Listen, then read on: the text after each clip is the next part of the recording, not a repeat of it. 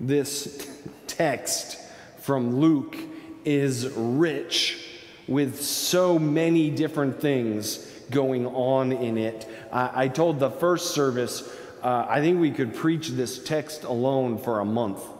Um, First of all, what's really fascinating, Luke appears to have pulled this story from Mark, Mark being the first of the Gospels, so we encounter the same story in Mark's Gospel. We tend in the tradition, scriptural tradition of the church, to call this the, the healing of the Gerasene demoniac. Gerasa was one of 10 Greek cities uh, on the south eastern side of the Sea of Galilee. That's why we have swineherds, since you wouldn't have them in Jewish lands, right? Pigs being unclean animals pork being unedible to the Jews. Um, so, so this is a movement of literally the, the Sea of Galilee and the, the, the going back and forth across it is a move of Jesus from the Jews and Israel uh, into the, these Greek lands, the Gentiles. Um, it predates Paul's own sense of movement of the gospel to the Gentiles. And so, so one of the things that we, uh, oh, for fun historical fact, Gerasa is 30 miles inland. So either these pigs can run really fast or they've got the geography a little wrong in their storytelling. Um, that said, the land's defined by being, you know, the hinterlands of Gerasa. Um, it's closer to Galilee than it is to Gerasa. Um, but so one of the, the contextual backdrops is this movement from clean and unclean that is clearly going on and in, in the play of why a swineherd, why, you know, what is going on. The fact that the man himself is sort of unclean to the people chained down in these tombs, what I imagine might be like naturally hollowed out caves along the water's edge, right? Because there he was to greet Jesus uh, right away.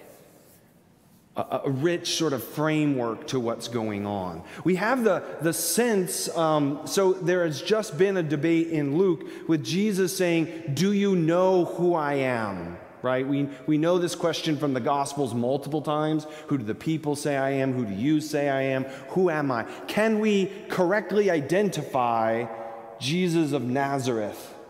And do we choose to do that as a, a wandering lunatic, uh, as uh, one sent by God? Do we do it as the Messiah? Or do we do it as the demon here identifies him as Son of the Most High God. So, so there's, there's this, we're introduced even before we get into this text at this sort of the interplay and the importance of names. And what are we naming, right? Even the, the playful ambiguity of who's speaking every time Jesus addresses the man.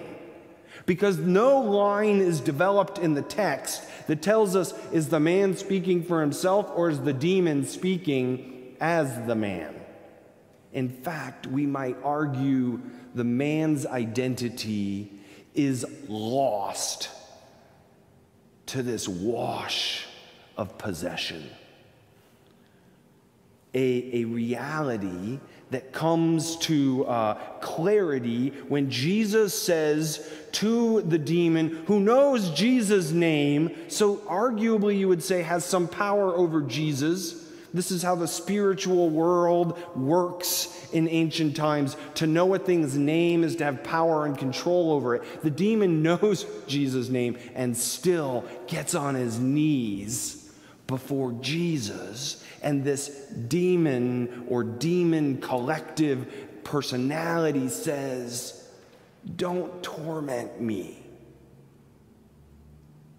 Which just fascinates me because it's unclear, even again, is the man wanting not to be tormented? Don't mess with the demons. I know how to live with them.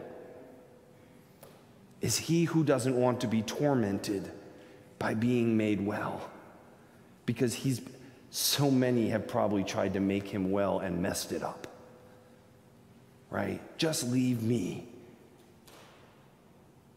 And, and this is echoed, is it not, in the reaction of the neighborhood, right? So, huge, miraculous healing. Let's use a, a fancy word theophany. The Gospels are interested in varying levels of theophany. This is where we come to realize divine power resides in Jesus. So Jesus demonstrates divine power over wind and waves when he calms the storm.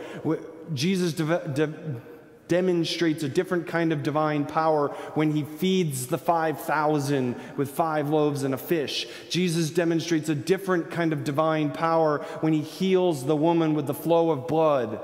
Jesus yet now develops another kind of divine power, this power over the spiritual world, right? It's meant to be a major revelation that Jesus is who he's named himself to be, right? I have authority not just because I know I have it, but because I've demonstrated the efficacy of my power in the world. And the people do what with that knowledge? Could you leave us alone? They want him to leave. Get away. We're possessed by fear of the power you have. The text says seized. They were seized with fear. And I think about the way that seized could mean to lock up Seized could mean to, to lose control of one's natural functions and body. To be seized is to be possessed by this very real fear of Jesus and his healing power. In fact, I'm so convinced there's a sense to which they realize that Jesus' ministry can possess you that when the, the man becomes healed at the end of the text, he wants to go with Jesus. And Jesus, I think, on some level says to him, No, because then you'll just let me possess you. And you need to go figure out who you are now for yourself. What has this story made of you? Because possession is about torn and broken identity. It's about all the other forces in this world telling you who you have to be and Jesus needed this man to find that for himself. Which is a little bit why coming to this text this year, after so much work that I've been doing in varying social work circles around what it means to understand trauma informed care, makes me realize Jesus is knows about trauma informed care long before we were writing up the four, five, or six elements of what it means to be trauma informed in our care. And you could, you could Google this idea if the, the frame is, work is new to you. You'll find most, uh, most higher ed most social uh, services, hospital systems are, are talking about some sense of how we do trauma informed care now, which has to acknowledge uh, the choice of the individual. They have to choose you know, have a sense of agency in their care. We have to acknowledge the historical and cultural developments of gender and of power and of privilege that are operating in that. We have to recognize the way that trauma holds and clings to us. And so we have to create a safe world where we can even dare to look at these things, right? That's why they don't want to look too closely. I think it's why the demon himself says, I don't, don't send me back to the abyss. It should have been his home, and yet the demon is terrified of the idea of going there. Which cannot help but leave me with that Friedrich Nietzsche phrase if you stare too long into the abyss, the abyss stares back into you. Do we want to be made well? Do we feel that is something even within our power? The crux of that all for me comes together in this, in this sort of nodal point in the story when Jesus says, Tell me your name. And the demon says, My name is Legion. Now, the text gives us an explanation of that name, right? What does the text say? There were many demons, right? So a Roman legion is between five and 6,000 people, right? So we cannot help but read the Gospels against a Roman backdrop. So, on some level, what the demon is confessing here is not a name, but a reality. I'm not one possession, I'm thousands of things possessing this man. There's, there's also the reality, this is what like gets me going because I love a good play on words, with the idea that perhaps he's possessed by the legion, by the concept of Roman legion. He's possessed by the idea of living your life under the value rubric of Rome, in which we build empire with, with, a, with a marrying of military might and commercial power, right? And in that, he's been stripped of his humanity. He is possessed by the way he is a thing in a large machine over which he has no power. I'm also uh, with my wife, a parent of four kids who have working jobs and volunteer jobs and the job that is kids. And I get the fact that some days we're just possessed by the legion of responsibilities nitpicking at us. Right? Somebody asked me, this is a little bit embarrassing. Someone asked me recently, um, it was happy hour, but it was for the, a catch board responsibility. So it was like happy hour where you're kind of working it. Um, it's the closest I've ever come to going to happy hour socially, I think. And they said, What do you do for fun? I was like, well, what do you mean? I like preaching. No, but what do you do like for fun, like after work is over? Well, work's never over, right? Because someone will text me or email me or Facebook message me or Instagram message. There's just way too, our, our communication methods are legion, right? And, and then, there's, then there's the part where I say, I believe a, an important part of the church is about getting active in the community. So I believe that part of my job is volunteering in the larger community, whether that be in advocacy work, or whether that be on a board, or whether that be on a school, though it's been a long time since I've had the time to go into school. But I used to do that on Fridays back when I was young and had that kind of energy. But they all start and taking threads of you until you feel lost in this sets of responsibility. And all this is before we even start to talk about what it means to have our life caught up in global pandemic or the systems of racism, the gender dynamics of power in our society. There are so many big system level things going on in our world.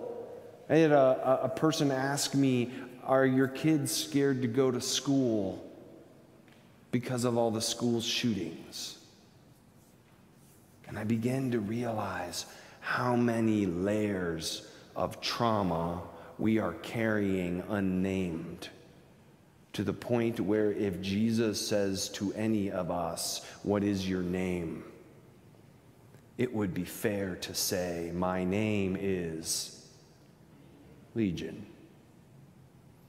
For I am possessed and seized by a great many things.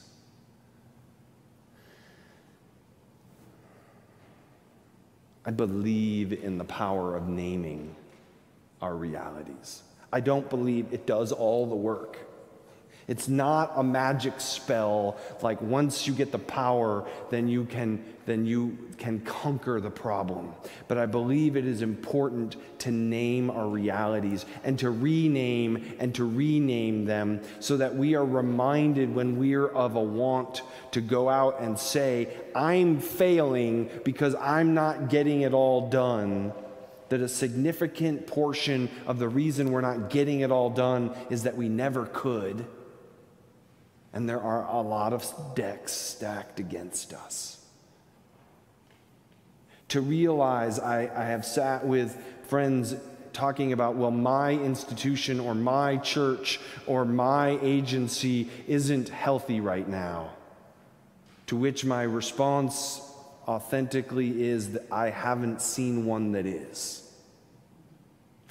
Our problems are legion. And we, we have to name that reality before we decide it's me that's broken. It's you that's doing it wrong. It's your church that is caught up in these things. It's your workplace that is dysfunctional and unhealthy. The, the crowds come rushing up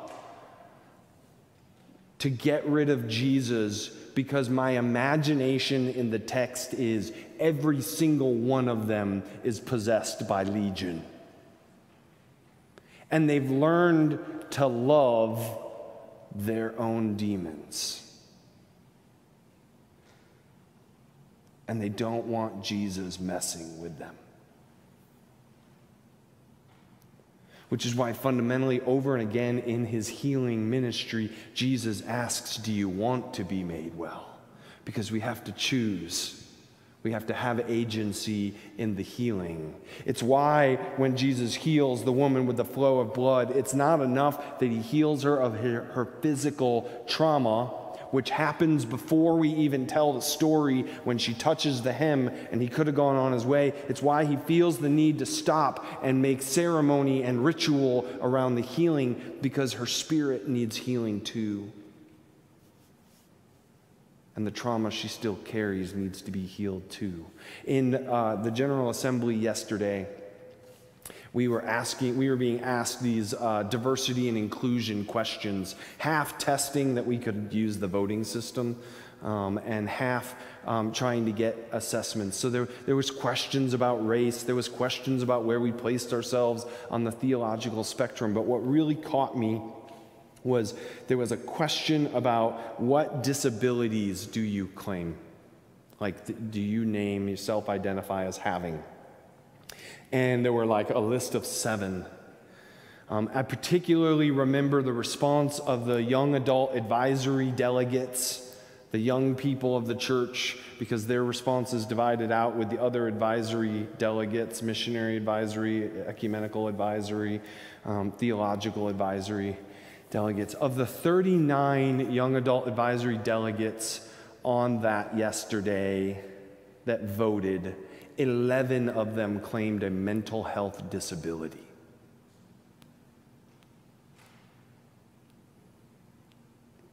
And I and, and when we got to the other numbers, like full, the commissioners, the others, the, the numbers bore that out. Like it wasn't just the young people claiming mental health disabilities. But I'm struck as we continue to do in my family some storytelling around some of the struggles that we're naming and, and the outpouring of response that has come to us to say, we're dealing with that too. We're dealing with that too. And I realize our problems are legion. That old saying about peeling layers of the onion and recognizing that sometimes it's just you're peeling the same layer off the same onion because it's growing faster than you can peel. Oh, Jesus, do not torment me.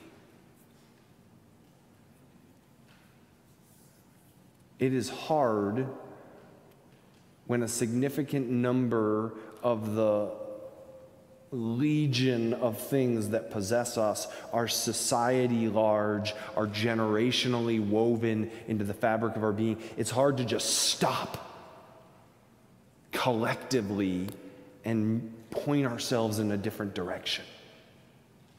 But we're in that level of need. We're possessed by the powers of Rome. We're possessed by the powers of success and perfection. We're possessed by the powers of don't admit it was too much for you. I have to admit, when I got COVID and I couldn't get rid of the cough, it seeped into my brain. Oh, I'm one of the ones that wasn't strong enough to deal with it. We are possessed by a great many things.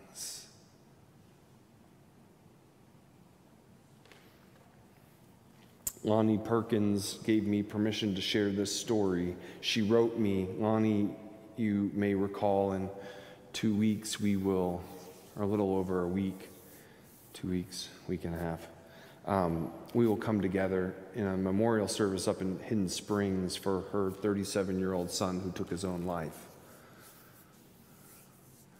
And gather with his three young daughters and his wife and his mom and his dad and his family and, and, and, the, and the grief and the challenge of that. She, she wrote and, and she ended what she was writing with the words that continue to haunt and hallow me. It takes a, a village to raise a child, and it takes a village to bury one.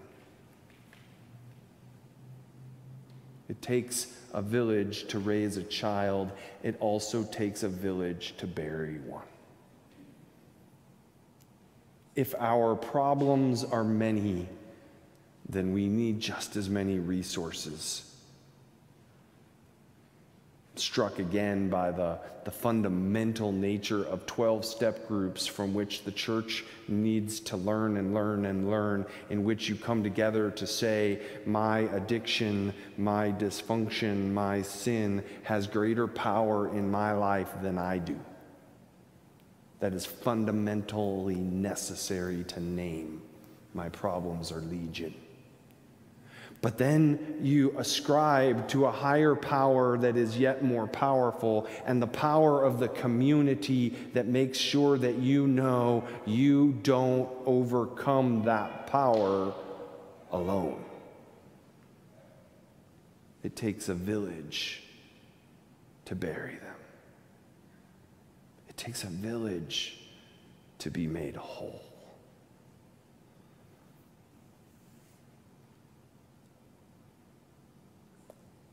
I believe it's important that we do the naming.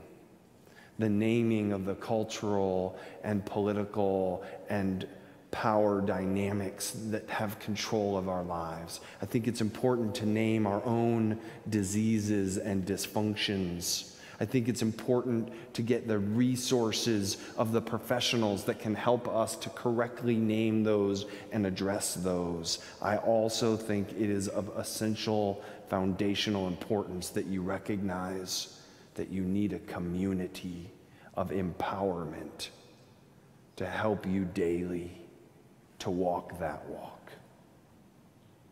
And I'm grateful to call you mine.